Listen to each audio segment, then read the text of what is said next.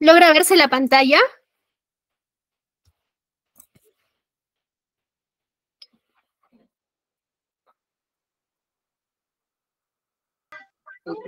No, no se aprecia en la pantalla todavía. Ahora sí. ¿Sí? ¿Se ve? Sí, ya está docente. Ahora sí, ya, perfecto. Listo. Lo que nosotros vamos a trabajar el día de hoy es una sesión bastante importante, que es nuestra gestión de proveedores. Recuerdan que conversábamos la sesión anterior respecto a quiénes son nuestros socios estratégicos. Vamos a hablar entonces de ellos, ¿sí?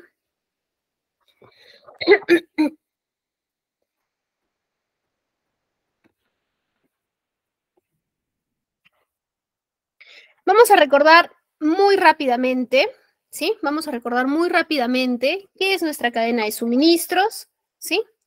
¿Qué es nuestra cadena de suministros? Y vamos a recordar muy rápidamente qué es nuestra cadena logística, ¿sí?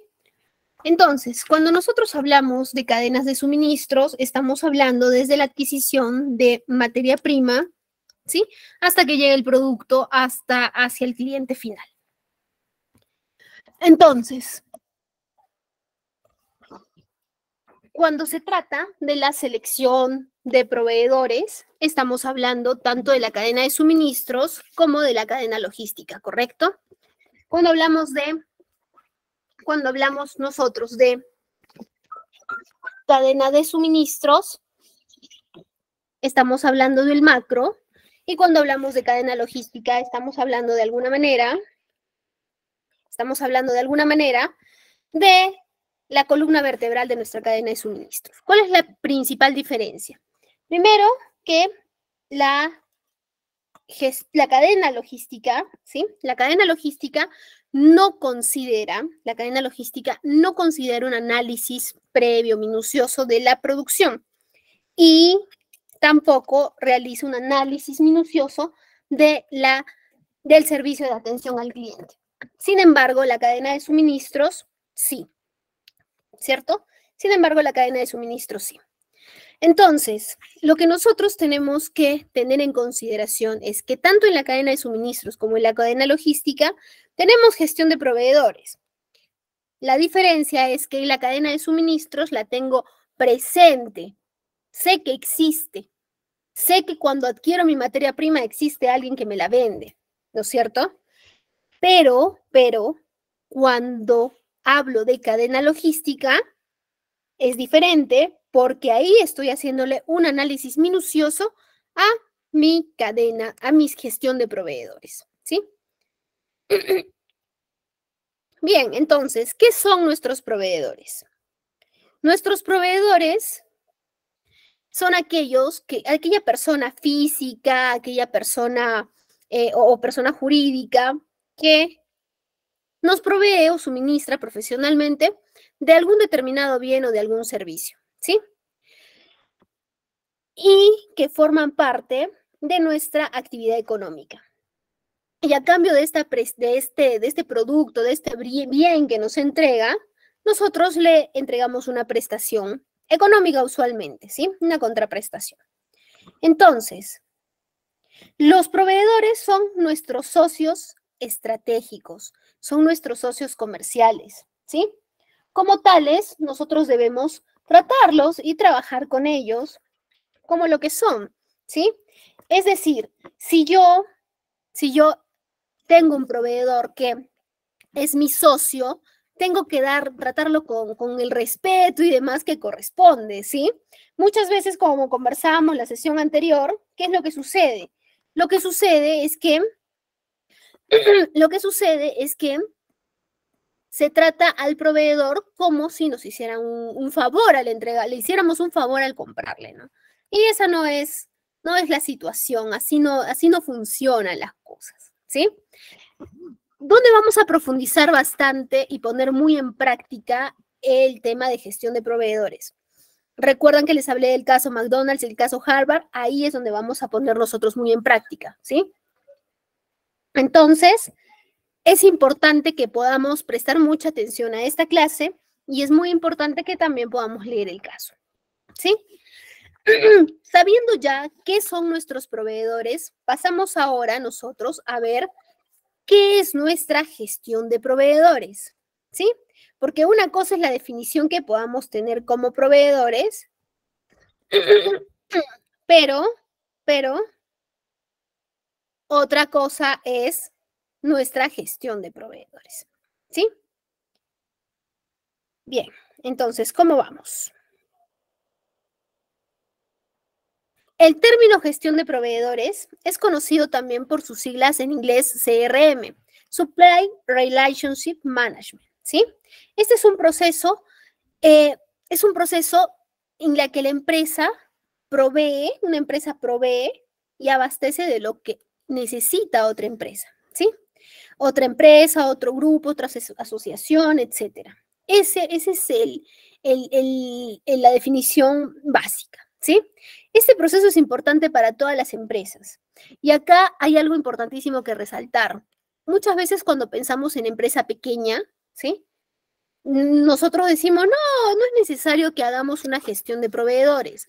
Gestión de proveedores, selección, evaluación y demás, lo debe hacer quienes, lo debe hacer entonces las empresas pues más grandes, las empresas que tienen mucho personal, ¿sí? que tienen una facturación alta. Sin embargo, no es así. Desde que nosotros empezamos un negocio, por más pequeño que sea, lo que tenemos que hacer es poder enfocarnos en nuestros proveedores, porque son nuestros eh, aliados para el bien, producto o servicio que nosotros vayamos a ofrecer, ¿sí?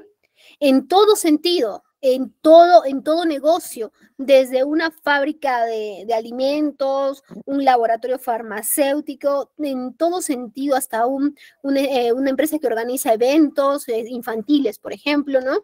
Todo sentido tiene que tener una buena gestión de proveedores, ¿sí? Entonces, no es exclusivo para grandes multinacionales, sino también para las pymes, ¿sí? ¿Por qué? Porque el suministro el suministro, porque el suministro eh, está presente en cualquier tipo de negocio, ¿sí? E impacta directamente en la calidad del servicio, ¿sí? Entonces, la empresa comerciante que se encarga de este proceso es independiente de la propia organización, ¿sí? Esta se encarga de vender bienes, servicios y se utiliza para respaldar sus propios productos o servicios. ¿Cuál es la importancia de la gestión de proveedores? Tener una buena gestión de proveedores lo que a nosotros nos permite es dar mayor previsibilidad de la cadena de suministros, ¿sí?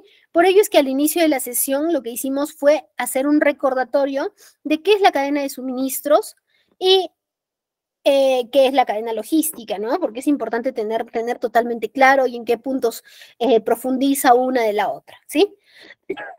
Entonces, da mayor previsibilidad, mayor visión a la cadena de suministros. ¿Por qué? Porque es el punto de partida, ¿sí? Porque es el punto de partida, es de donde ya voy a empezar a trabajar con calidad para la obtención de mi producto terminado, ¿no? Porque los proveedores son los que están presentes en cada una de nuestras operaciones, ¿sí? ¿Qué nos permite también la gestión de proveedores? Tener accesos a productos de mejor calidad, Evidentemente, ¿por qué? Porque nosotros olvidaremos el comprarle, ¿sí? El comprarle a la primera empresa que nos toque la puerta, ¿sí? Nosotros le comprar, nosotros compraremos a quien nosotros evaluemos, a quien nosotros consideremos, ¿sí? A quien nosotros consideremos que es el indicado y es el mejor para poder, eh, para poder trabajar nuestros productos, ¿sí? Para poder ser parte de nuestro negocio, para poder brindarnos la materia prima y demás, ¿sí? Entonces, gestionar nuestros, nuestros proveedores nos permite tener acceso a productos de mejor calidad. Adicional a ello, nos permite tener una capacidad más amplia para tomar decisiones comerciales. ¿Por qué la gestión de proveedores impacta de manera, impacta de manera em, directa en las decisiones comerciales. Recuerdan que la sesión anterior conversábamos respecto a conversábamos respecto a cuando yo manejo una línea de crédito para mis clientes, debo también manejar una línea de crédito que vaya en la misma en la misma sintonía para mis proveedores. ¿Recuerdan? Está directamente relacionado con ello, ¿sí? Está directamente relacionado. Entonces, lo que yo puedo, ¿sí? Lo que yo puedo lograr, eh, lograr los beneficios que yo puedo lograr al trabajar con uno u otro proveedor, al final se lo voy a trasladar a mi cliente, ¿sí? Se lo voy a trasladar a mi cliente si logro mejorar un costo, si tengo características adicionales, todo aquello que yo pueda lograr, lo que voy a hacer es trasladárselo a mi cliente. Y por ello es que tener una buena gestión de proveedores lo que hace es ayudarme a, a eh, tomar mejores decisiones comerciales. Y sí impacta directamente en nuestras decisiones comerciales. ¿Sí? La gestión de proveedores tiene que estar vista, tiene que saberse como un win-to-win. ¿Sí? consiste en la puesta en marcha de un proceso cuyo objetivo es la solución de cualquier conflicto o acuerdo que se tiene entre, entre una o varias entre una o varias partes, con el fin de que todas salgan beneficiadas. Esa es la idea, ¿sí? Que todas puedan salir beneficiadas, que no solo salga beneficiado eh, el comprador, la empresa, ¿sí? sino también el proveedor. ¿Por qué hacemos bastante hincapié en ello? ¿Por qué? Porque muchas veces el proveedor entrega sus productos y el área de aprovisionamiento o compras le hace el seguimiento al proveedor hasta que llega el producto. Pero ¿qué resulta? Que después que llegue el producto a las instalaciones de la empresa cliente, del comprador, ¿sí? Nos olvidamos de hacerle seguimiento a sus facturas. Entonces el proveedor con ya 15 días de vencimiento llama y dice, ¿no? Mira, me estás debiendo esta factura con vencimiento hace 15 días. Y nosotros le respondemos, ah, lo que pasa es que yo no veo el tema de pagos. Eso lo ve contabilidad o lo ve finanzas, ¿no? Entonces ahí estamos en un gran problema. ¿Por qué? Porque nosotros tenemos la obligación de responder frente a las contraprestaciones que ofrecemos al, cambio de un, de un bien o servicio que estamos adquiriendo, ¿sí? Y tenemos que hacerle seguimiento hasta que se pague, ¿sí? Si nosotros no, seguimos, no hacemos el seguimiento, no validamos, no aseguramos el pago de un, de un servicio o de un bien, nuestra compra no debemos considerarla terminada. Ah, muchas veces lo que pasa es que yo no conozco esa información, eso lo ve finanzas, en verdad, ¿no? pues comuniquémonos con finanzas, veamos qué, qué facturas tienen pendientes de nuestros proveedores, seamos muy responsables con las obligaciones que tenemos hacia ellos, ¿sí?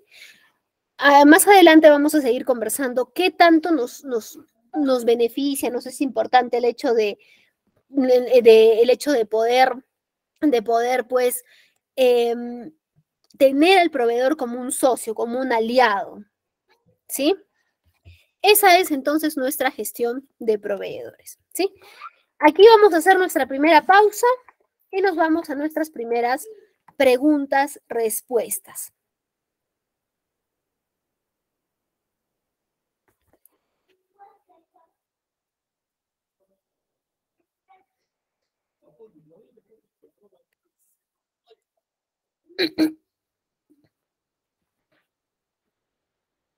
Jonathan, buenas noches.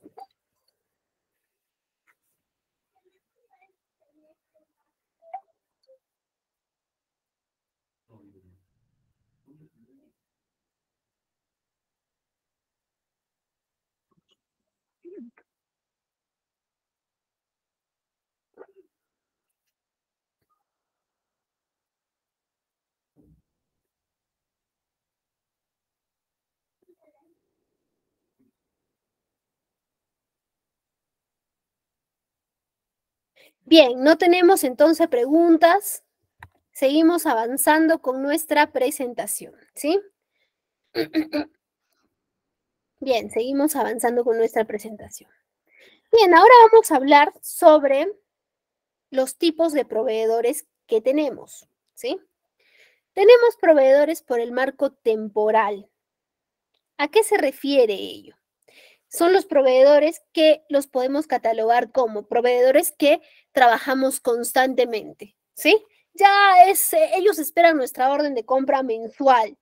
No hay, no hay opción que nosotros no seamos parte de sus ventas un mes, porque son nuestros proveedores, proveedores habituales. Estamos muy acostumbrados a trabajar, trabajar con ellos y ellos están muy acostumbrados a trabajar con nosotros, ¿sí? Entonces, entonces lo que sucede es que cuando hablamos de proveedores en relación al marco temporal, ¿sí? Es que nos, nos enfocamos solo en los proveedores habituales y a los proveedores esporádicos o los que son puntuales de una sola compra, no les damos la misma rigurosidad de evaluación. Si bien es cierto, no vamos a ser, lo, no vamos a ser tan rigurosos con un proveedor que le compro una sola vez, ¿sí? O que le compro de vez en cuando con alguien que le compro pues en constante, que es parte de mi, de, mi negocio. Sin embargo, así le compre una vez, ¿sí? Así le compre una sola vez, yo estoy poniendo sus bienes, sus productos, su materia prima, sus servicios, lo estoy poniendo en mi cartera, o sea, está, está haciendo parte de mi producto terminado, de mi servicio final. Entonces, yo tengo que ser riguroso al momento de evaluarlo, ¿no?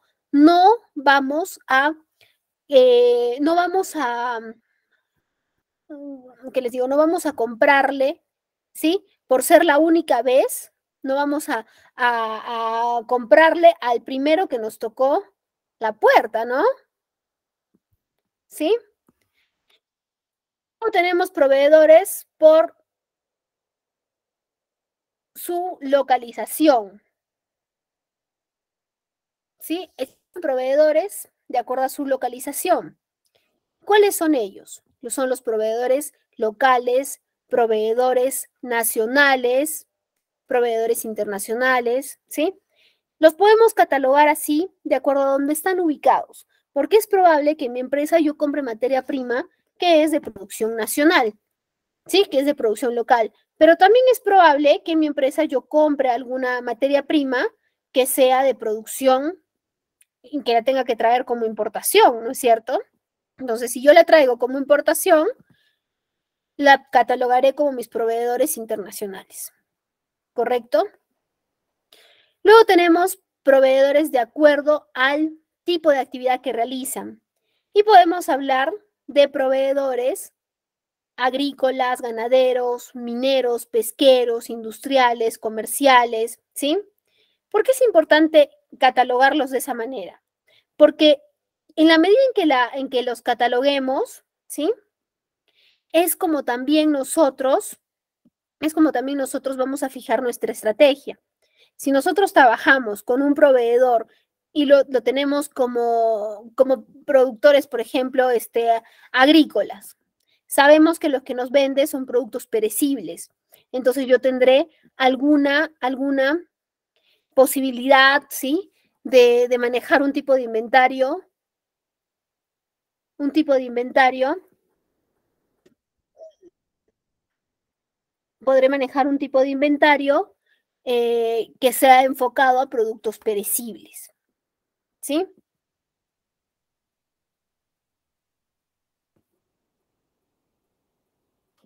Muy bien. Luego tenemos proveedores en función de lo que ofrecen, ¿sí? Existen proveedores de bienes o servicios destinados al consumo o de factores de producción enfocados a las empresas. ¿sí? Luego tenemos proveedores con relación a la naturaleza jurídica. Es decir, podemos distinguir proveedores, proveedores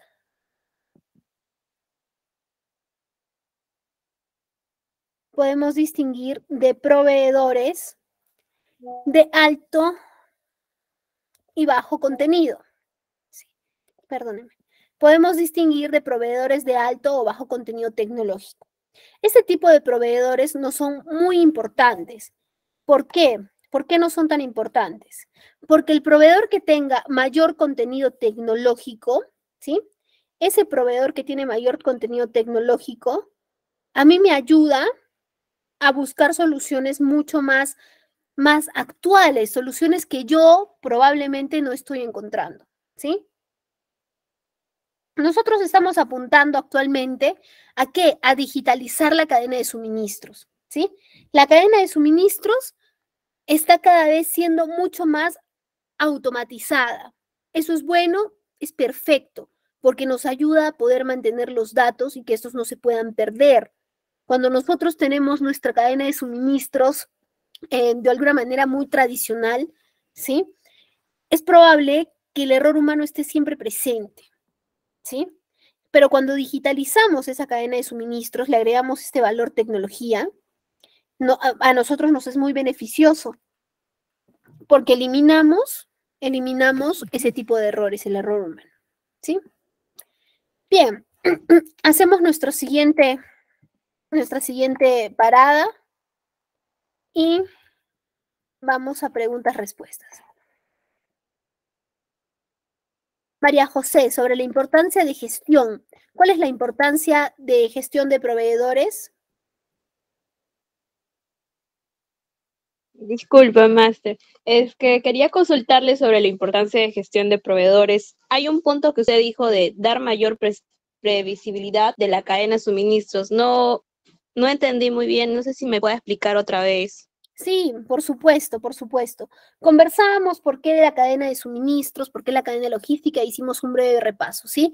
¿Por qué nos da mayor previsibilidad en la cadena de suministros? Porque eh, al ser este el punto de partida, al ser el inicio, como yo siempre le yo inicio con la compra de mi materia prima para todo mi proceso de producción, Si yo tengo una materia prima que estoy adquiriendo con un proveedor confiable, que lo he seleccionado, lo he evaluado constantemente y demás, sé que esta materia prima es, pues, es, es, confiable, ¿sí? Tengo ya mayor visión a que lo que sigue mi cadena de suministros tenga muy buenos resultados, ¿sí? A eso nos referimos cuando, cuando mencionamos la parte de previsibilidad de la cadena de suministros.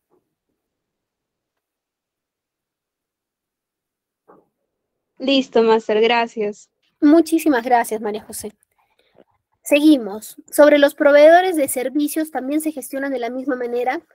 Sí, se gestionan de la misma manera. Mira, la, gran diferencia que en mi experiencia he logrado ver es que muchas veces cuando tienes proveedores de bienes, tienen la posibilidad de entregarte una muestra, por ejemplo, ¿no? Pero cuando son proveedores de servicio, ahí es un poco más difícil que puedas tener una muestra exacta de lo que vas a obtener en el momento. Sin embargo, si dependiendo del servicio también, ¿no? Te pueden hacer, si es, si digamos fuera un, un proveedor que nos va a hacer headcounting, no, que nos va a hacer, no, perdóneme, perdóneme, estoy, estoy equivocándome.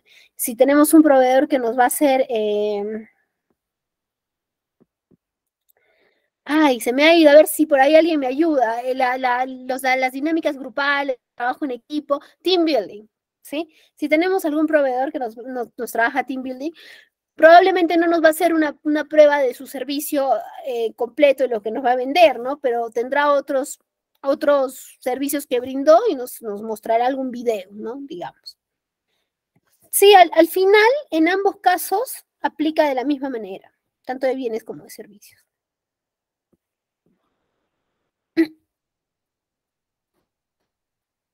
Lucinda, ¿qué pasa si un proveedor no entrega completo los pedidos?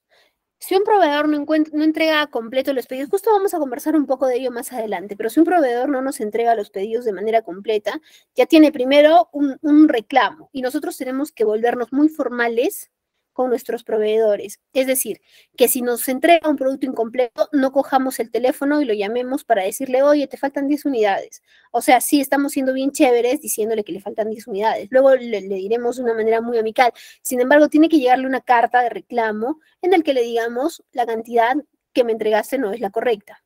¿Sí? Espero la, la reposición, ¿no? Le, que completen la, que te completen la orden o en su defecto lo que puedes hacer es cerrar tu orden menos esa cantidad y que el proveedor, si ya te emitió la factura, debería emitirte una nota de crédito por la cantidad faltante, ¿no? Es un punto negativo respecto al proveedor cuando lo evalúo. Si se vuelve un constante el que el proveedor no emita, no entregue productos completos, es un punto muy negativo. Pero si es una vez de las 100 veces que nosotros le compramos y su respuesta es muy rápida, si la capacidad de solución y sobre todo la disposición para solucionar es, es muy buena, pues entonces eh, no hay pues ningún, ningún inconveniente y le seguimos comprando, ¿sí? Le seguimos comprando.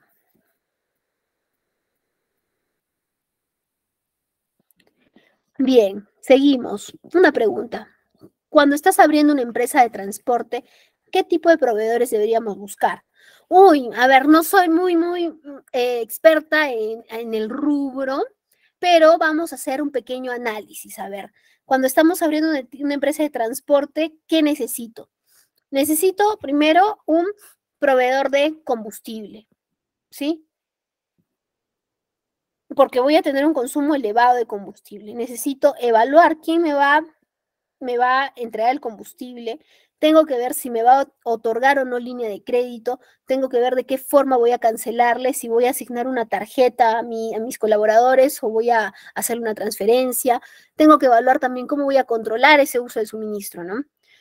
Luego, ¿qué puedo tener? Eh, piezas y repuestos, si voy a abrir una empresa de transporte. ¿No? Porque, porque definitivamente voy a necesitar algunas, algún, probablemente algunos repuestos que, que de, los, de, los, de las unidades, de los vehículos, se me puedan malograr, ¿no? Y que, y que pueda tener de repente en stock, algunos consumibles, como aceite, por ejemplo, ¿no? O lubricantes, ¿sí? Luego tengo que buscar proveedores de llantas, es importante, proveedores de llantas. Todos vayamos pensando, ay, le, va, le, vamos, le vamos diciendo a Piero, ¿sí? Eh, luego, tenemos que tener un proveedor también de, limpieza, de lavado de los buses, buses o empresas de transporte, que es buses o camiones, ¿no? Porque el lavado también es una parte import importante, si es para servicio de pasajeros, mucho más. Eh, luego, proveedores para toda la parte de seguridad, conos, eh, botiquines que deben tener. Ahí está, broker para SCTR, SOAT, correcto Ahí tenemos otra participación, mira, de Fátima. ¿Qué más? A ver, eh, control automotriz, Cristian, perfecto. Perfecto. A ver, ¿qué más necesitamos en una empresa de transporte?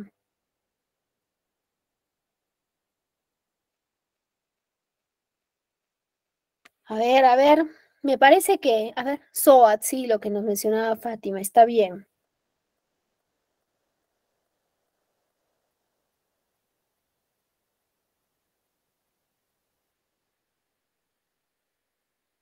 Llantas, licencia de conducir. Sí, básicamente ello, eh, Piero, repuestos. Sí. Perfecto. Un taller, un taller de confianza, ¿no? Tener un mecánico de confianza. Si tienes, si tienes una, una flota amplia, de repente contratar un mecánico, ¿no? Pero lo que dice David es muy importante, tener un taller de confianza, porque a veces se ve, se ve, ¿no? Que en las unidades pequeñas, no sé si en las grandes pueda ser posible, ¿no? Pero, pero pueden cambiar piezas y esas cosas. Listo, Piero. Te hemos, hemos ahí dado varias ideas. ¿ah? Listo, a ver, Oscar, ¿alguna metodología para evaluar proveedores? Eh, vamos a conversar ahora sobre algunos puntos de alta importancia cuando nosotros hablamos de evaluación de proveedores. ¿Sí? Varios puntos que estoy segura que nos van a dar la visión de qué es lo que tenemos que evaluar cuando hablamos de proveedores. ¿Sí? Seguimos. ¿El documento de orden de compra y orden de servicio tiene marco legal? Mm, tiene validez legal, pero si ya es un, si ya es un tema, un tema tan importante como, como, un tema tan importante como que necesitas una rigurosidad legal, te sugiero, y lo vamos a revisar al, al final, es que nosotros hagamos un contrato. Eso es lo que debemos hacer, hacer un contrato, ¿sí? Con ello estás totalmente protegido. Con ello sí ya estamos totalmente protegidos.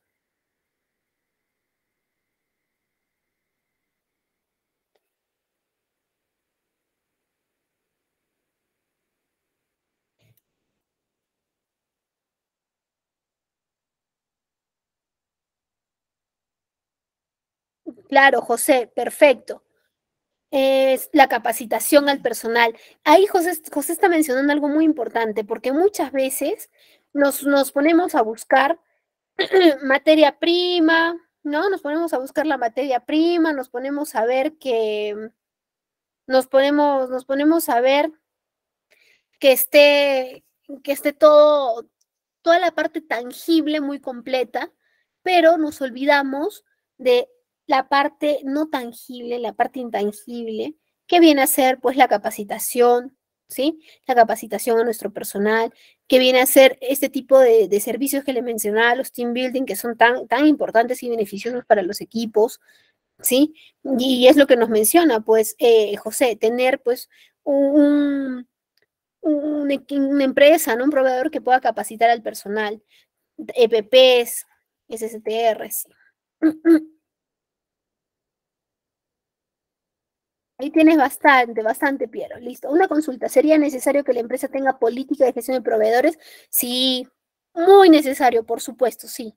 Tiene que tener, tiene, que tener una política. Revisamos un poquito la sesión anterior respecto a las políticas de compras, ¿sí? La política de inventarios también es muy importante porque nos da todos los lineamientos que nosotros debemos tener al momento de poder tomar, pues, una, poder tomar una, una, una decisión, ¿no?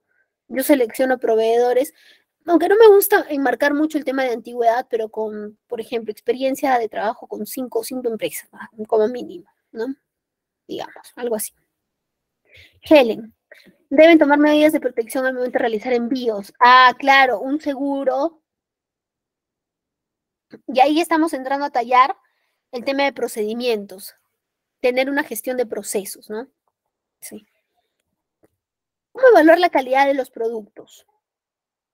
¿Cómo evalúo la calidad de los productos? Eh, mm, a, ver, cuando recibimos los productos, ah, ah, cuando el proveedor nos entrega los productos, ¿cómo evalúo? Ya, primero es que nosotros vamos a tener una ficha de requerimiento, ¿sí? Que eso lo vamos a hacer nuestra siguiente sesión. La siguiente sesión vamos a revisar nuestra ficha de requerimiento, ¿sí? Y esa ficha de requerimiento me dará todas las características que yo debo tener para lograr que el proveedor me atienda realmente lo que yo quiero, lo que yo necesito, ¿no?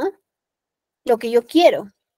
Entonces, con esa ficha y con el producto recibido puedo validar que evidentemente lo que llega es lo que he pedido. Y así estoy cumpliendo en términos de calidad, ¿sí? Ahora, si nos ponemos un poco más, más profundos, ¿cómo evaluar la calidad de los productos, depende de cada producto. Por ejemplo, ¿sí? Yo trabajé hace algunos años en una litográfica. En esta litográfica hacíamos productos impresos, ¿no? Y, por ejemplo, a las etiquetas que se vendían, nuestro cliente le hacía evaluaciones de control de calidad. ¿Cómo evaluaba estas etiquetas? Le hacía una prueba en la que pegaba un extremo de la etiqueta con el otro extremo y si al pegar los extremos con adhesivo, ¿no? Los dos extremos, y tratar de despegarla, la etiqueta se rompía, quería decir que su adhesividad era, buena, ¿no?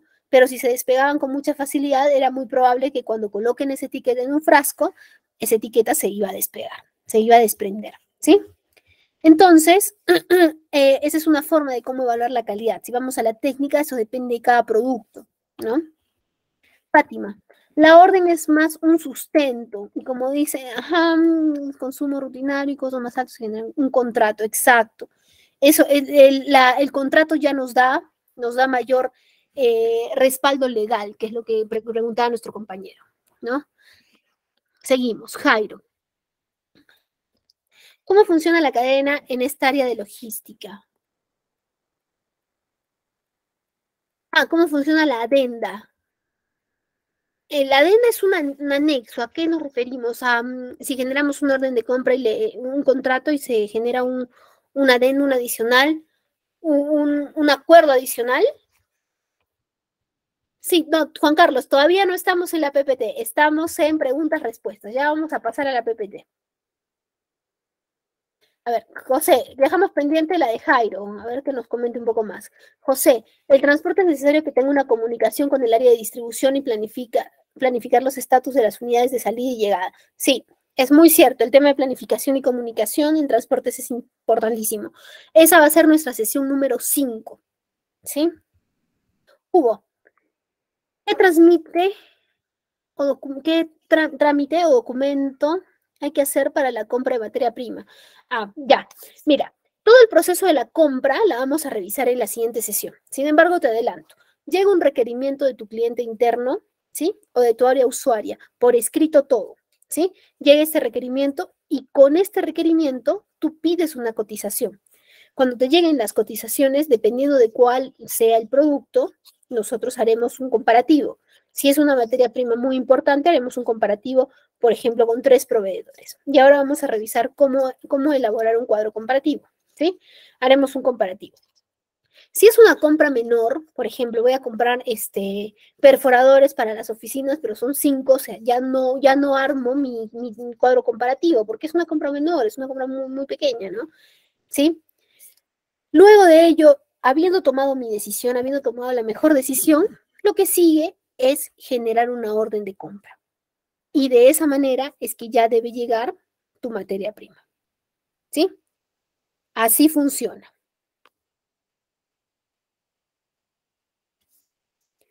Oscar, ¿se le puede aplicar penalidades? ¿Por qué? ¿Qué pasaría si no cumplen entregarme un insumo con la característica solicitada y me hace fallar un pedido? Sí, claro que se puede aplicar, se puede, se puede aplicar penalidades, se debe aplicar penalidades, pero se tiene que poner todo por escrito. Y si vamos a, a colocar penalidades, es mejor generar un contrato.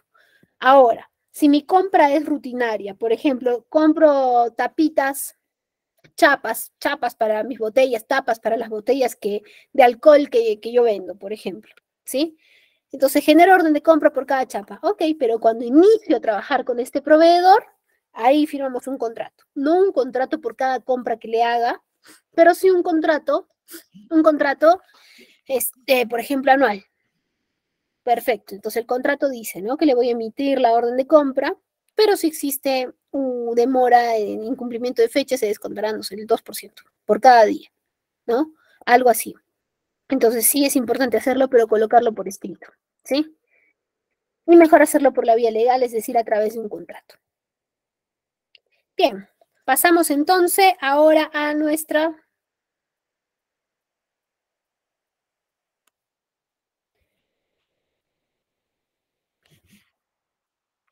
a nuestra presentación. ¿sí?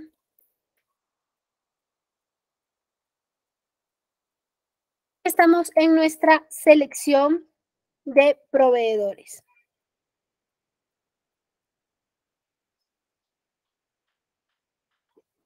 Les pido un momento, por favor.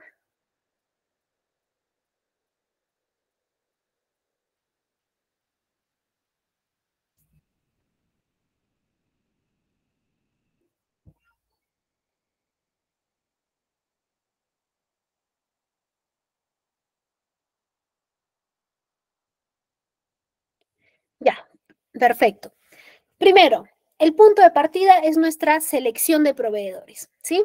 La selección de proveedores consiste en encontrar aquella empresa que ofrece el producto o el servicio que necesita otra compañía para producir su producto o realizar algún servicio, ¿sí? Y siguen algunos criterios, según los criterios que nos enmarquen, como bien decíamos, nuestra política o la alta dirección, nuestros lineamientos, nuestro reglamento. ¿Sí? Ahora, se debe tener algunas consideraciones al momento de seleccionar nuestros proveedores, ¿sí?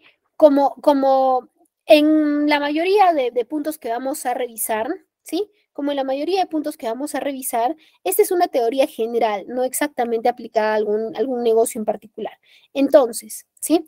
Si nosotros tenemos un, un negocio en particular que tenga que tener alguna, algún detalle especial los proveedores, tenemos que agregarlos, ¿sí? Tenemos que agregarlos, porque no siempre, no siempre eh, los especiales los podemos revisar, porque no aplica la regla general, ¿no?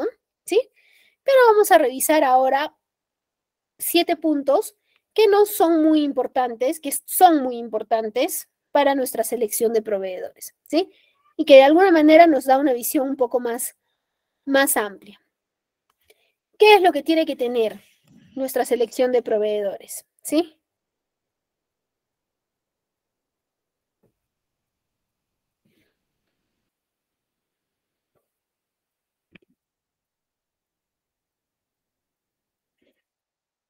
Buscar, búsqueda de opciones, ¿sí? La búsqueda de opciones nos permite tener una, un abanico mucho más grande para nuestra toma de decisiones. ¿Sí? La búsqueda de opciones nos permite tener una, una visión mucho más grande. Es decir, es decir, que me voy a tomar el tiempo de poder evaluar por lo menos tres proveedores, por lo menos tres proveedores. Ahora, para yo tener esta, este cumplimiento, por, por, por así decirlo, ¿no? por este punto en mi selección de proveedores, lo que yo tengo que hacer es conversar con todo el equipo que viene detrás, es decir, con producción, con ventas, ¿no? Con planificación de la producción, planificación de ventas, para que nos haga llegar la información con el tiempo necesario. Porque si nuestros amigos de ventas o producción nos hacen llegar los requerimientos así urgentes, de ya para allá, lo quiero urgente, urgente, urgentísimo, vamos a tener la posibilidad de buscar opciones, no vamos a tener posibilidad vamos a tener la posibilidad de lograr un producto con, una excelente calidad? Muy probablemente no, porque vamos a comprarle al primero que me toque la puerta. Y eso es lo que tenemos que también decirle a nuestro a nuestro cliente interno. Si tú me haces el pedido como urgencia siempre, es muy probable que uno o no te cumpla en términos de oportunidad, es decir, no llegue a entregarte en las, en las fechas que requieres, no te entregue en términos de calidad, porque voy a tratar de lograr. Ahora, no, no con esto no estoy diciendo que cada vez que compremos urgente es, malo, no va, a llegar mal el producto porque es urgente. No, porque no, no, debería, no debería funcionar así. Entonces, tenemos que tener nuestros tiempos bien establecidos. Entonces, si ya vamos a aplicar nosotros una metodología, vamos a aplicar una gestión de proveedores, así como su nombre lo dice, una gestión de proveedores, lo primero que les sugiero es una reunión con todos sus, con todo su equipo y el equipo que, que venga detrás. ¿Para qué? Para pedirles información con ciertos límites de tiempo y a ustedes que están en la parte de aprovisionamiento, si hubiera acá alguien de aprovisionamiento compras, pueda tener la, la, posibilidad de evaluar con tiempo a los proveedores y que esto le va, con, le va a eh, dar como resultado poder buscar más opciones. ¿Sí? Siguiente. Informarse de manera oportuna. Informarnos de manera oportuna en dos frentes. Uno, tanto del proveedor, ¿sí? Del proveedor, mm, su historial y demás, que lo vamos a ir revisando poco a poco.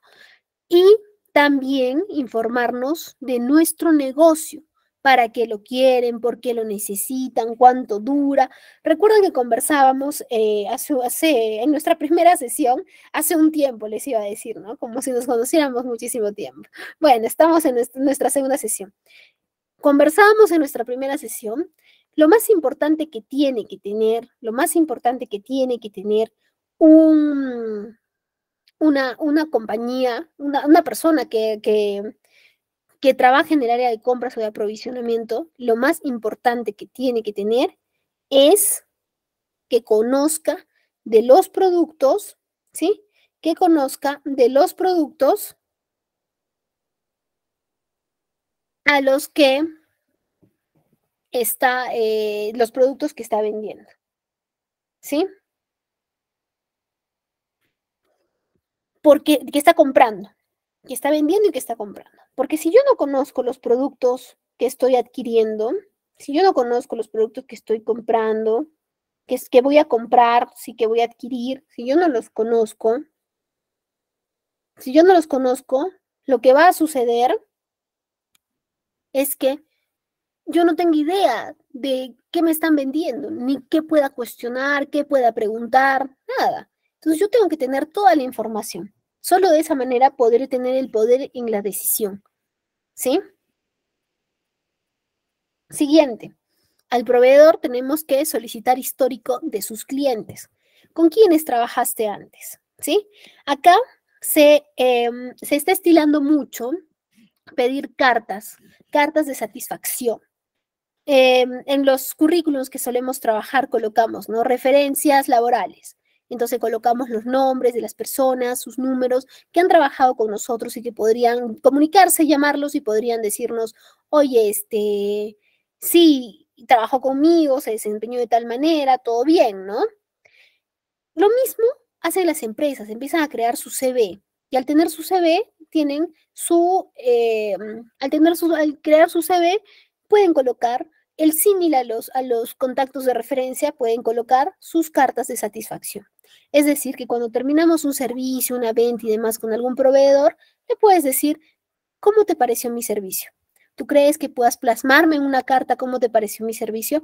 Para ello tenemos que estar bien, pues bien seguros de cómo hemos laborado, cómo hemos trabajado para poder solicitar.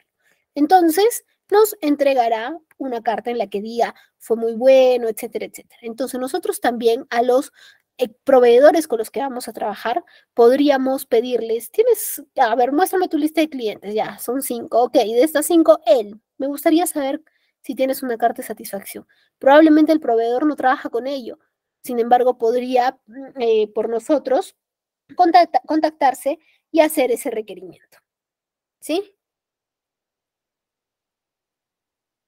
Y hacer ese requerimiento. Luego, existen varias características a evaluar. Una de ellas, ¿cuáles vienen a ser? ¿Sí? Una de ellas vienen a ser el precio, que es de las que más conocemos. Sin embargo, no es la más importante. No solo se evalúa el precio, existen otras características igual de importantes, ¿sí? Existen otras características igual de importantes con las que yo puedo, con las que, las que yo debo evaluar cuando tomo una decisión respecto a proveedores, ¿sí? Por ejemplo, por ejemplo, ¿qué, qué característica? Si me ofrecen garantías, ¿sí? Si me ofrecen si me ofrece, em, ah, si me ofrece algún, alguna garantía, si me ofrece alguna adicional, alguna característica adicional y demás. Entonces, ahí yo podré evaluar mis proveedores y podremos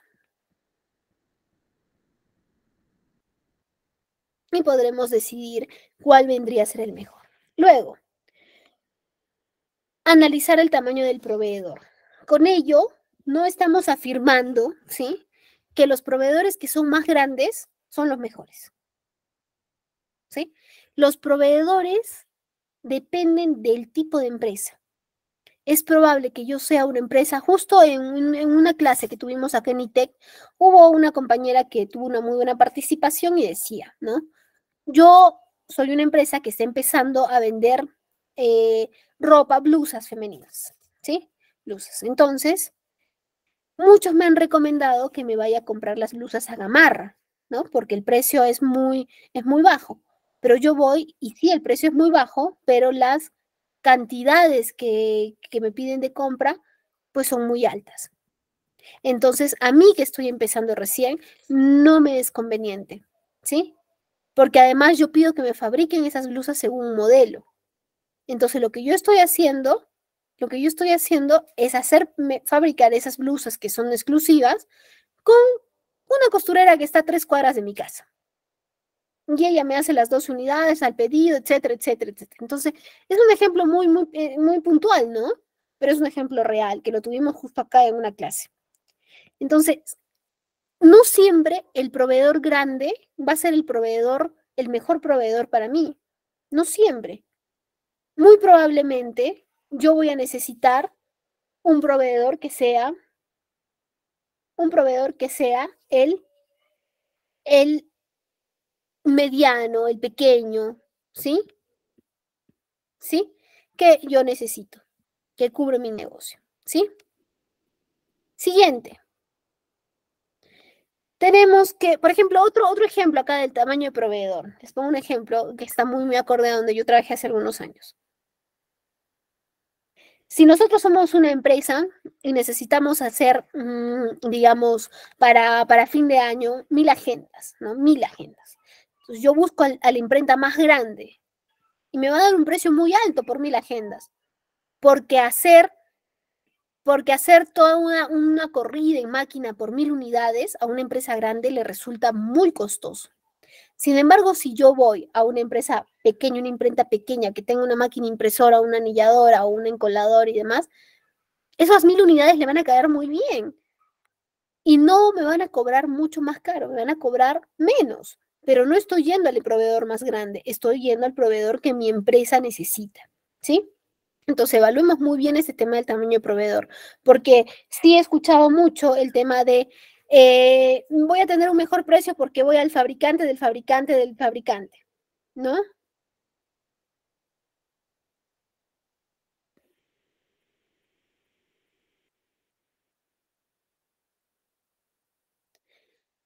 Siguiente, valorar si posee un código de ética, ¿sí? Valorar si posee un código de ética. Seguimos. ¿Por qué es importante valorar si posee un código de ética? Porque cuando un proveedor tiene código de ética, es mucho más fácil, es mucho más probable que pueda, eh, es mucho más probable que pueda actuar de una manera más, más responsable con nosotros como cliente. ¿Sí? ¿Por qué también? Porque somos un área, somos un área de aprovisionamiento, es un área muy auditable muy auditable, muy expuesta a, temas no éticos, ¿no? Como sobornos y demás para generar órdenes de compra, etcétera, etcétera. ¿Sí? Entonces ahí tenemos que tener muy en cuenta eso. Luego, siguiente, solicitar pruebas. ¿A qué se refiere la solicitud de pruebas? La solicitud de pruebas se refiere a las, eh, se refiere a las, mm, lo que voy a comprar me puedan enviar una muestra para validar si es tal cual lo que yo necesito. En muchos casos se puede hacer, en algunos casos no. Yo les cuento un caso también acá que compartieron unos compañeros de ITEC. Nos decían, ¿no? Yo, nosotros pintábamos lanas y comprábamos pigmentos de manera local, pero encontré un pigmento mucho más barato y lo traía de importación. Lo traje, pero no solicité la muestra. Cuando llegó acá era un tono totalmente al distinto al que usábamos constantemente, ¿no? Fue un grave error, fue un gravísimo error, ¿no? Entonces el cliente no lo aceptó. ¿Qué hicieron? Ya habían pintado las lanas. O sea, ahí fue un tema de control de calidad, también fue un tema más amplio en temas de producción. Pero ¿qué hicieron con las lanas que ya tenían el color que no era correcto? Las regalaron, las regalaron en la empresa a sus colaboradores. Pero el problema siguió. ¿Por qué? Porque los colaboradores querían comprar más lanas de ese tono ¿Y qué resulta? Que ya no había más lanas de ese tono porque era un error de producción, ¿no? Entonces ahí, ahí ella nos, nos contaba anecdóticamente, ¿no? Habían chompas que se quedaron sin mangas, o sea, ¿por qué? Porque no hicimos una, una solicitud de pruebas para nuestra selección de proveedor. ¿Sí?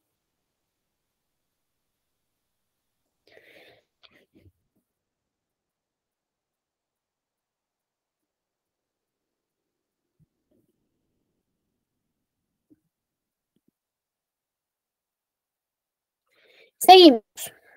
Ahora pasamos a, no, a ver, esta más y luego pasamos a nuestra siguiente ronda. Este es un cuadro comparativo en el que yo coloco ¿sí? las características que voy a evaluar cuando selecciono mi proveedor y coloco los proveedores. ¿sí?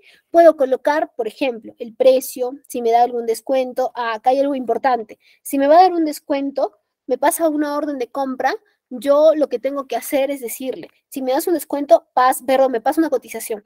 Me da, me da un descuento, lo que tengo que decirle es modifícame la cotización o en su defecto en la cotización agrégame descuento, pero cámbiame la numeración. No puedes mantenerme la numeración. Eso es muy importante, porque luego sacan dos cotizaciones, eh, 513 y tienen precios distintos, ¿no? Entonces, a eso nos puede traer muchos conflictos, problemas y más si, si alguno de, los, de, las partes tiene mala memoria, ¿sí? Puedo cotizar, considerar también el transporte, seguros, ¿sí? Ver el precio total, periodos de garantía, plazos de entrega, servicio técnico, forma de pago y alguna otra observación. Entonces, de esta manera, básicamente es como deberíamos armar nuestro cuadro para evaluar a nuestros proveedores. Seguimos. Pasamos a evaluación de proveedores pero vamos a pasar a nuestra siguiente ronda de preguntas-respuestas.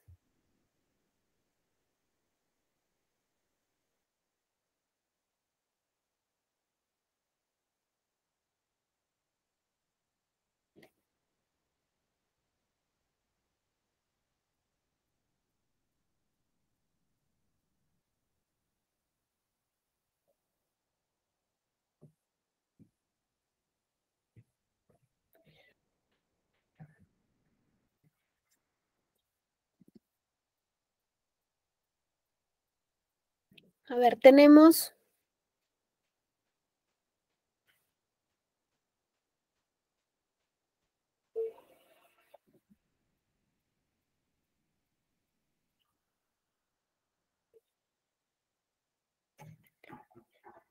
Bien. Tenemos acá. Conocer bien el producto o servicio para evaluar cotizaciones pro forma. Sí, correcto. Solicitar un brochure o catálogo de productos. También, también solicitar su brochure, su catálogo, ¿no? Sí. Para elegir un proveedor, entonces, va más allá de un criterio, más por criterio y presupuesto, ¿cierto? sí, podría, o sea, por, por presupuesto. Hemos hablado mucho de precios, sin embargo, cuando hacemos una compra, definitivamente tenemos un presupuesto destinado para lo que vayamos a comprar. Pero sí es importante evaluar por lo menos los puntos que hemos mencionado en la diapositiva anterior, por lo menos. Podemos apoyarnos de la orden para indicar las condiciones que ponemos con el proveedor para que sea, sí, eh, eh, una evidencia a nuestro favor. Ya, ahí Fátima siempre recuerda el win-to-win, pero eh, sí, claro que sí. ¿Qué es brochure? El brochure es un, es un, es un documento en el que te, te presentas, ¿sí? Presentas tu empresa, tu visión, tu misión, los servicios que brindas, los clientes que tienes, le colocas algunas fotitos y se hace mucho más eh, vendedor, ¿no? Si el producto no es el que, el que había encargado, ¿se puede hacer una devolución? Sí, por supuesto. Por ello es que tú tienes una orden de compra. Vamos a profundizar más en, este, en, este, en este punto en la parte, perdón, en la siguiente sesión, cuando hablemos de hojas de requerimiento, y cuando, cuando hablemos de hojas de requerimiento y cuando hablemos de, cuando hablemos de eh, cuando hablemos de mm, orden de compra y cotizaciones.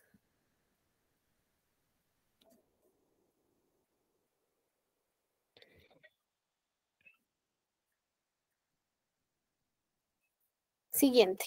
Volvemos entonces a nuestra presentación. Ahora vamos a hablar de evaluación de proveedores, ¿sí? Ya seleccioné mis proveedores, ahora los vamos a evaluar, ¿sí?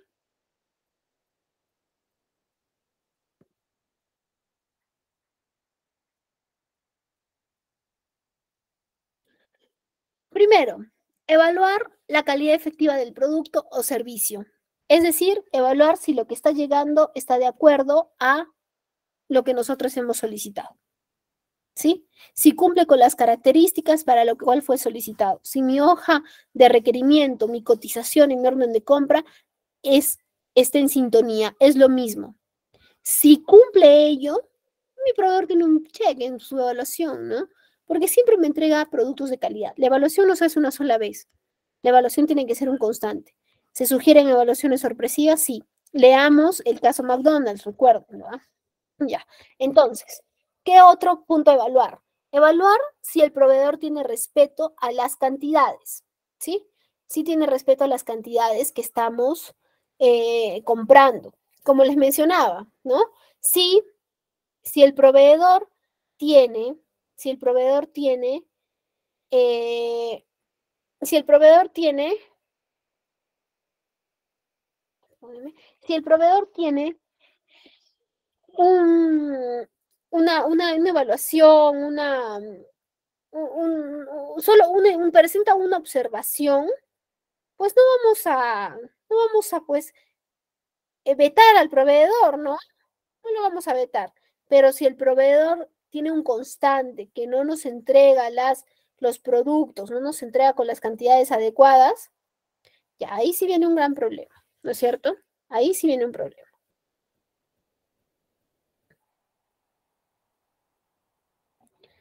Siguiente, puntualidad de las entregas. El proveedor tiene que ser tan nuestro socio, tan nuestro socio, que no me tengo que estar preocupando en decirle, oye, por favor, me entregaste el producto, ya lo tienes, ¿no? Ya lo tienes.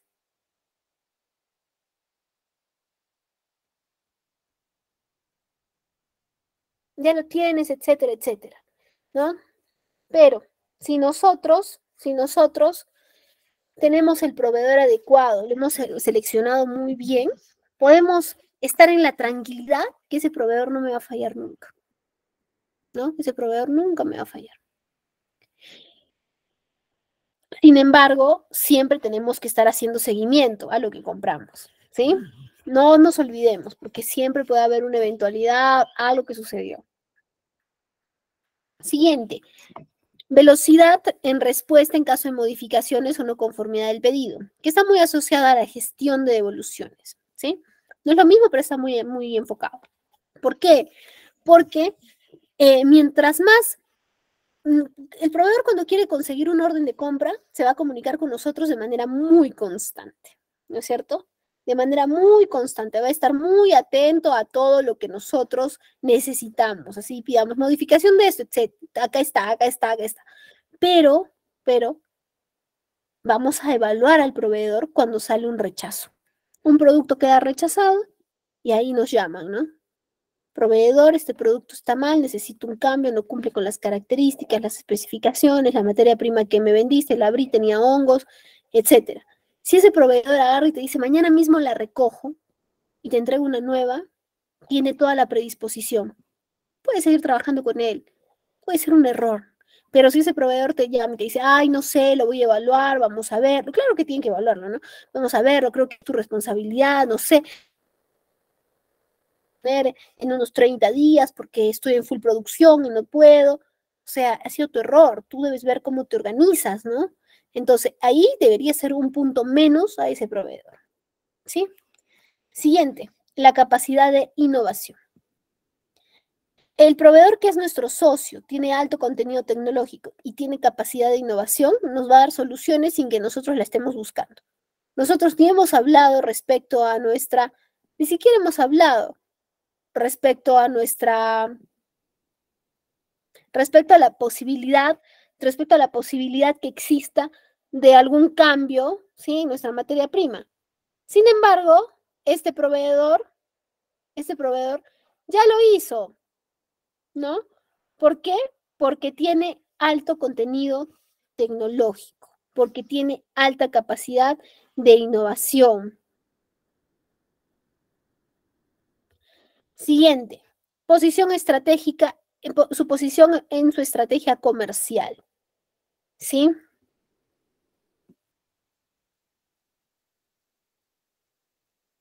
¿Eso a qué se refiere? A si este proveedor nos conoce también como para poder estar claro, estar seguro de cuál es nuestra estrategia. Hay existen proveedores que se hacen hasta parte de nuestro negocio. Se hacen parte del negocio y conocen las características, conocen nuestra filosofía, conocen todo. Ese proveedor está pues ya fijo en nuestra, en nuestra empresa, ¿no? ¿Sí? Después de haber seleccionado un proveedor, habiéndolo evaluado constantemente, ¿dónde ingresan estos proveedores? Ingresan al catálogo de proveedores el famoso, el ansiado y esperado catálogo de proveedores. ¿Qué es el catálogo de proveedores?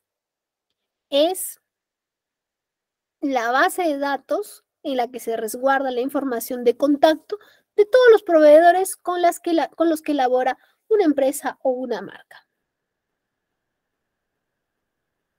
¿Sí?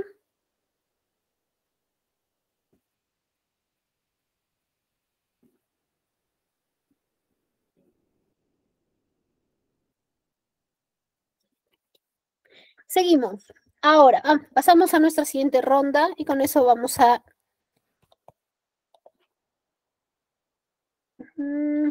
Helen, ¿cuáles son los indicadores de la selección de proveedores? Ah, acá vamos, eh, Helen, a guardar tu respuesta hasta el día, hasta la próxima semana, hasta nuestra sesión número 6. ¿Por qué? Porque nuestros indicadores, todo lo que son indicadores, lo vamos a revisar en la última sesión. ¿Sí? En gestión de, selección de proveedores tenemos algunos que se los voy a presentar ese día. Entonces, lo, la respondemos mejor en la, número, en la sesión número 6. ¿Sí? ¿Tenemos alguna otra consulta, por favor?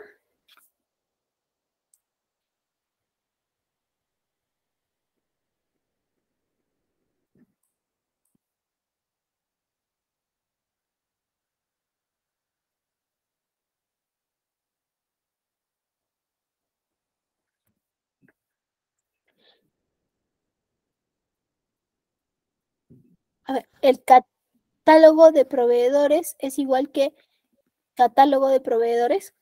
A mm, mm, Piero, no encuentro la diferencia. A ver, magísimo el catálogo de proveedores es igual que el catálogo de proveedores. Milenka, ¿cómo se mide el desempeño del proveedor? El desempeño del proveedor lo puedes medir de distintos frentes. Em, puntualmente, evaluando los, los, las características que hemos colocado en lo que es evaluación de proveedor. Eric, te damos el pase, cuéntanos. Hola, ¿qué tal? Buenas noches, muchas gracias, Sofía. Una consulta, yo actualmente soy analista de- de compras. Eh, en muchos casos, este, o mejor dicho, ¿qué me recomiendas hacer un cuadro comparativo de, de costos? ¿Qué, qué puntos claves yo debería considerar? Un cuadro comparativo para tus proveedores.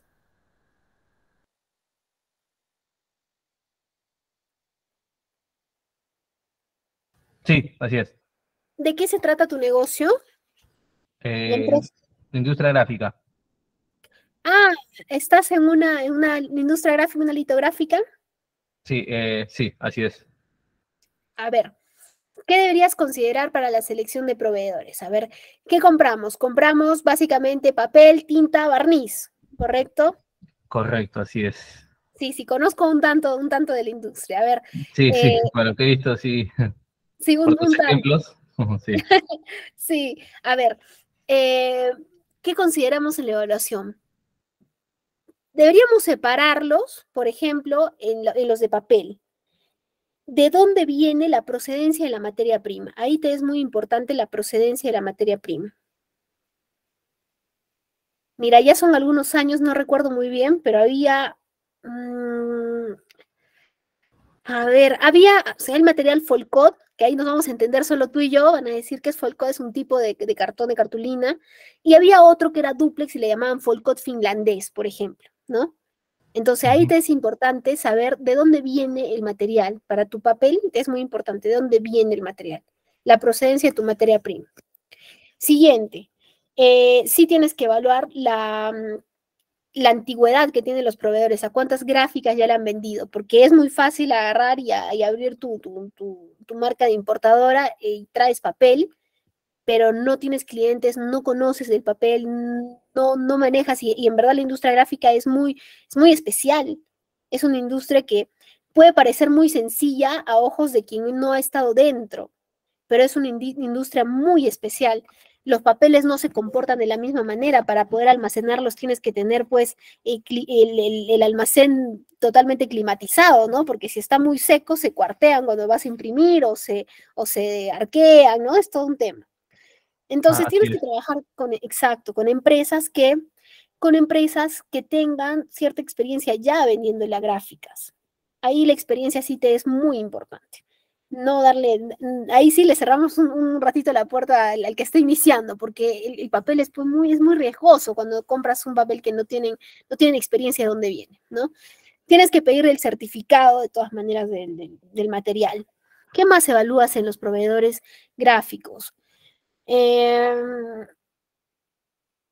la procedencia del papel, la antigüedad, el precio, definitivamente ahí el precio, eh, la calidad del material, eso ya cuando llega, porque a veces varía demasiado el color entre blanco y amarillo, ser muy incisivo en tus proveedores que la tonalidad tiene que, la tonalidad tiene que ser pareja, porque muchas veces pasa que te mandan, que te envían lotes que están mezclados y tienes papeles, no sé si te ha pasado. Sí, de es, constante, es constante. El, la diferencia de lotes a un pedido, un ejemplo, de Ahí 10.000 está. hojas y le agregan, y en ese pedido me, me envían tres lotes y tú sabes que en la, de, de la misma fábrica eh, los lotes son diferentes tonalidades. Exacto, exacto. Entonces, ese es algo que tienes que ser muy incisivo. Cuando hablamos de, de tintas, em, actualmente se usan mucho, se estila mucho evaluar proveedores que trabajan con insumos vegetales, ¿no? que, que, quitando toda esa, toda esa parte dañina del uso de las tintas, tanto para el operario, para el operador de las máquinas, como para el, el del consumo final, ¿no? Se estila mucho, entonces también es importante evaluar cuál es la procedencia. Aparte que comprar ese tipo de tintas vegetales te permite a ti buscar otros mercados como industria alimentaria, fábricas de chocolates, etcétera, ¿no? El tema de los barnices, que eso es lo, es lo más, lo, más importante, en verdad, de esta industria, ¿no? Los tres puntos más importantes. El tema de los barnices, eh, se dice mucho que son cancerígenos, se, se dice mucho de ello. Mm, hay empresas que suelen hacer incluso desarrollos de los barnices especiales para, para, tu, para tu propia producción, ¿no? Entonces, el proveedor que pueda ofrecerte ir a tu planta y evaluar cómo imprimes, qué tintas usas y qué, qué barniz pueda desarrollar mm, especial para ti, ese proveedor podría tener un plus, porque en el barniz sí existe la posibilidad de que te hagan un desarrollo especial. Claro que también hay barnices que compras de los que ya vienen de fábrica, ¿no? Y que te funcionan bien, ya, bacán ahí, ¿no? Pero sí puede existir esa posibilidad para tu evaluación de proveedores. Sí, así es. Hoy en día ya, este, debido a, la exigencia general a nivel mundial, ya vienen incluso de la misma fabricación, ya con certificados de FDA y SEGA para contacto directo con alimentos. Porque si bien es cierto, la industria gráfica no es muy conocida, no es muy común, se puede decir, pero el, rubro gráfico es, es bastante, se puede decir, eh, hace muchos productos a, al mercado, por ejemplo, cajas de laboratorios, este, cajas para papitas, para supermercados, en general, para todo, para todo tipo de, de productos. Sí, exacto, es un rubro muy bonito, muy bonito, y en verdad mmm, no tienes una... No tienes una amplia lista de proveedores. Los proveedores gráficos son bien, bien contados, en verdad. Ah, sí, totalmente sí. de acuerdo. Es muy probable que trabajes con proveedores habituales, pero, pero sí, o sea, igual síguelos eh, evaluando, visita sus fábricas. Eh, eso es muy importante, visitar sus fábricas. Sí. Bien, espero poderte haber, haber podido ayudarte un, un poquito. Sí, sí, Sofía, muchas gracias. Listo, con gusto. A ver, seguimos. Tenemos a Piero. El catálogo de proveedores es igual ah, que la catalogación de proveedores. Ay, ay, ay, me estabas, me estabas haciendo leer como cinco veces Piero, ah, te pasaste. Yo decía, ¿dónde está la diferencia? Eh, eh, ah, no, no es lo mismo. La catalogación viene a ser como el listado, ¿no? De los proveedores. Eh, solo el listado. Solo, solo el, proveedores contiene más que ello. Contiene los datos del proveedor, puede, contiene los productos que te vende principal, de manera principal. Por ejemplo, si te vende un, si es tu proveedor principal, si es, es el proveedor que, que te vende primero, el proveedor principal, pero luego tienes dos proveedores sustitutos en el catálogo de proveedores, coloca sello dos proveedores sustitutos para esa materia prima. En el catálogo es recomendable colocar cuál es el lead time de tus, cuál es el time de tus, eh, de, tus, de tu materia prima, ¿no? Del proveedor también, ¿no? Demora 15 días en responderme una, un, un, una materia prima, en evaluar un pedido, etc. ¿Sí? Bien, regresamos entonces a nuestra presentación. Sí, vamos a revisar cuáles son los cinco pilares de la gestión de proveedores. ¿Sí? Acá es listado y vamos a pasar directo a revisarlas. ¿Sí? Primero, gestión de la información del proveedor. ¿Sí? Ese es el primer pilar y es primordial tener una buena base de datos. Está bien hacer el catálogo de proveedores relacionados con cada uno de los proveedores interesados. Se puede establecer un esquema y aplicarlo a todos hay que tener en cuenta cómo se integra el distribuidor en la cadena de suministros y si se hace correctamente. Luego, gestionar el ciclo de vida de cada proveedor. Esta información la colocamos en el catálogo. ¿Sí? Es importante eh, cómo se relaciona, cómo, se relaciona en cómo se gestionan los proveedores según el estado en que se encuentra la empresa, no el proveedor exactamente. ¿sí? Porque podemos tener distintos tipos de proveedores y fases para acabar contratando a, a uno o no. Si tienen sin relación, baja revisión, evaluación, aprobado, privilegiado, contratado. Nosotros tenemos que apuntar siempre a que nuestros proveedores estén encima del aprobado, ¿no? Esa, esa es la idea, ¿sí? Siguiente, gestión de, el, gestión, el, la gestión del rendimiento o el desempeño del proveedor es nuestro tercer pilar. Este se rige básicamente en el rendimiento del proveedor para conseguir los mejores resultados. Es importante este pilar identificar y retener los mejores proveedores que mejoren a la empresa. De esta forma se establecen algunos KPIs que los vamos a revisar en la sesión número 6, ¿sí? Para cada proveedor y las áreas de suministro.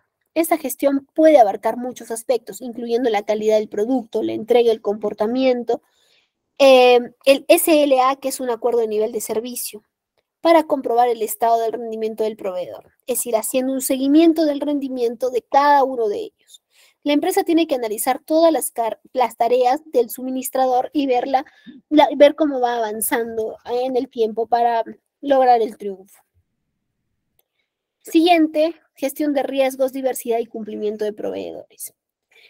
Este pilar evalúa el riesgo del proveedor y su cumplimiento. Es importante tener presente el comportamiento del proveedor, ya que podría haberse involucrado en actividades fraudulentas, ¿sí? compromisos poco realistas o conductas discriminatorias. Cualquiera de estos casos podría afectar a la empresa y podría afectar la reputación del mismo. Siguiente. Vamos a revisar la administración de relación con los proveedores. Este es el último pilar de la gestión de proveedores es la relación que existe entre los proveedores y, el del cliente, ¿sí? Es el foco más importante porque implica compartir información estratégica entre cliente y proveedor, ¿sí? Mencionábamos eh, en, uno en una de las diapositivas que revisamos qué tanto conoce el proveedor de mi estrategia, ¿sí? Es muy importante, muy importante que conozca el proveedor de mi estrategia. De tal manera que puede fortalecer las relaciones para desarrollar mejores productos y servicios. ¿Sí? Habiendo revisado estos puntos, también es importante que conozcamos qué es negociación. La negociación se puede definir, la negociación se puede definir como un proceso de comunicación entre al menos dos partes, dirigido a alcanzar un acuerdo sobre intereses que se perciben como divergentes. ¿Sí? ¿Qué es una orden de compra?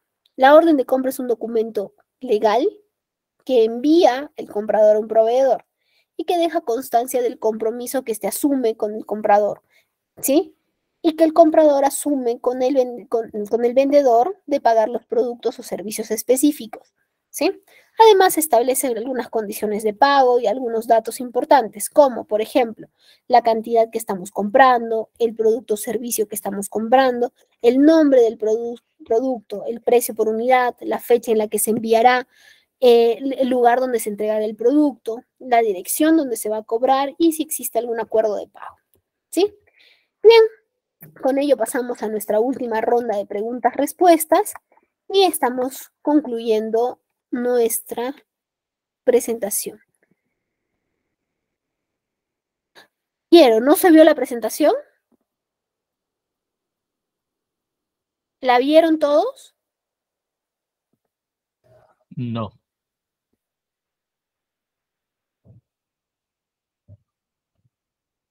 Tengo sí, no, sí.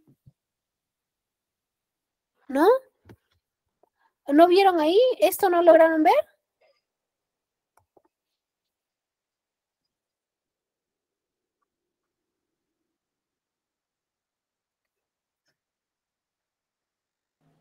Explica de nuevo. ¿Sí se vio? ¿Hubo problemas de conectividad?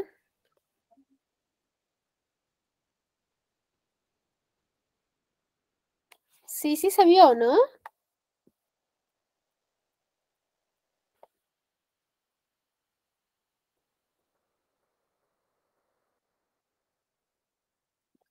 Sí se vio al principio. A ver, vamos a revisarlo rápidamente, ¿sí?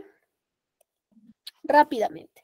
Se está viendo, ¿no? Alguien que me valide que se vea bien. Sí. Ya, perfecto. Vamos a revisar los pilares de la gestión de proveedores. Primero, gestión de información del proveedor. ¿sí? Es decir, tener nuestro catálogo de proveedores totalmente completo y organizado, ¿sí?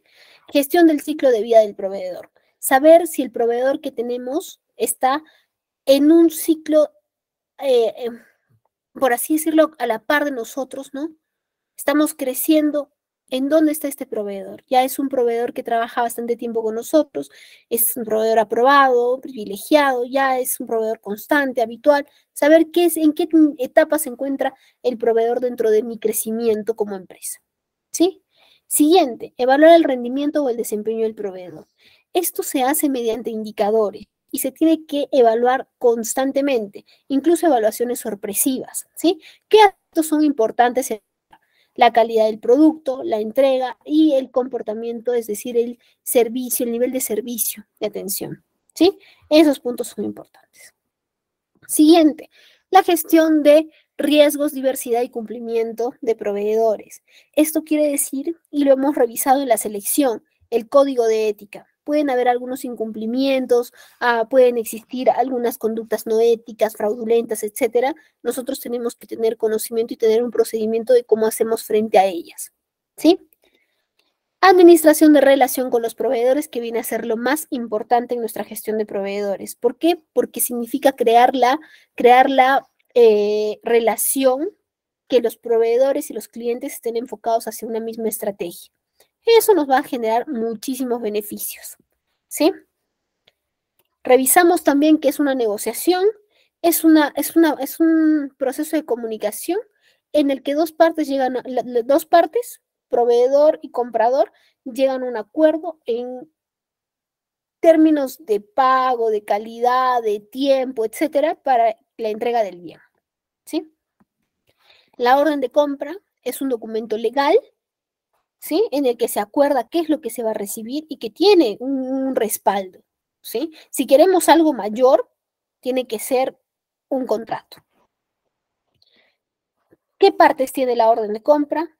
Principalmente tiene la comprada, el producto servicio, el nombre específico del producto, cuál es el precio por unidad, cuál es la fecha de envío, dónde se va a entregar el producto. No es lo mismo decir, lo entrego en sus instalaciones que lo entrego en mis instalaciones, ¿sí? Dirección a dónde vamos a cobrar y sí, el acuerdo de pago. ¿Sí? Hemos revisado rápidamente, pero de manera muy puntual, nuestras últimas diapositivas, que son los cinco pilares de la gestión de proveedores. ¿Sí?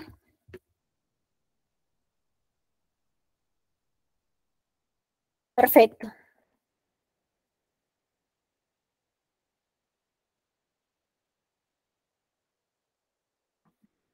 Posiblemente sí, Misael, pero ya hemos hecho un, hemos hecho un breve, un breve resumen, ¿sí?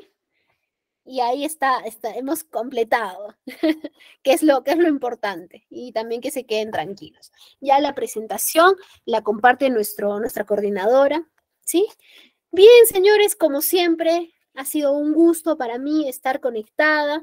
Les pido un poquito la disculpa por la cámara, nuevamente que no he podido encenderla. Estoy, un, poquito, un poquito en reposo por, por la, un poco con la espalda, pero ya en la siguiente sesión sí voy a estar voy a estar 100%. Muchísimas gracias. Les agradezco muchísimo su participación. Es muy bueno eh, hacer lo que ha hecho Piero el día de hoy, hacernos una pregunta y que todos podamos participar la información valiosa se la está dando Piero, ¿no? Él dice, ya, perfecto, ya tiene muchas ideas. Más o menos ya sabemos qué tema tocamos la siguiente sesión. Si tienen tienen alguna pregunta, plantéenla. Vamos a tener no solo una persona eh, pensando en una solución, sino todo un equipo. Miren cuántos somos, casi 100, ¿no? Todo un equipo pensando en una solución. Eso nos hace, nos es muy beneficioso para qué es lo que qué queremos resolver, ¿sí? Ha sido una excelente clase, les agradezco muchísimo por la, por la participación y nos estamos viendo el día sábado. Le doy el pase a nuestra coordinadora. Gracias, Miss. Buenas noches.